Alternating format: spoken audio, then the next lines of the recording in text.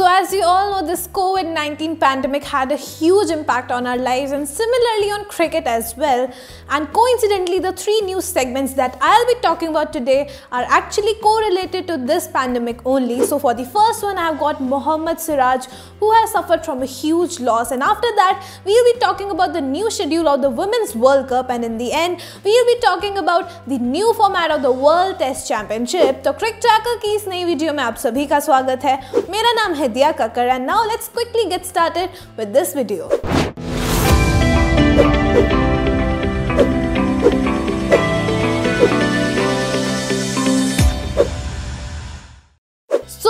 Tragedy has struck Mohammad Siraj, who is right now in Australia with the rest of the Indian squad, as his father has passed away at the age of 53 due to lung ailment. So actually, Mohammad Siraj was training with the national team in Sydney, and while he was returning back from the practice session, he got to know this, and now because of the quarantine protocols, he cannot go back to India to perform the last rites. And he said that he's still in a shock that he has lost the biggest support of his life, and he told that how much of hardships his father has faced by driving auto rickshaw to let him pursue his dreams. And actually, it was his father's dream to see him play for the country.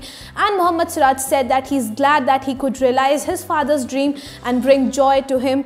I know it's a very hard time for uh, Mohammad Siraj and may just God give him lots of strength to face this tough time. So ICC has announced that the next Women's T20 World Cup will happen in South Africa in February 2023 instead of November 2022 and as earlier ICC had also postponed the 50 over Women's World Cup slated in New Zealand in 2021 to 2022 due to this COVID-19 pandemic and also Women's T20 cricket is set to make its debut in the 2022 Birmingham Commonwealth Games. So ICC realized that there are a lot of events coming in. So in order to avoid this overcrowding of big ticket events and in order to manage players' workload, ICC pushed back this Women's T20 World Cup to three months. So ICC has introduced this new point system to determine the finalists of the World Test Championship and now the standings will be determined on the basis of percentage of points earned. So before this new rule was imposed, India was at the top of the table with 360 points.